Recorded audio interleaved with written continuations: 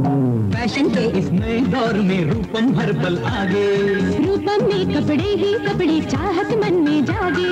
सुंदर कपड़ों का संसार। दिलकश कपड़ों का बाज़ार। रूपम रूपम रूपम। पूरे परिवार के लिए रेडीमेड और वुलन कपड़ों का अपूर्व भंडार। रूपम क्रॉफर्ड मार्केट बम्बई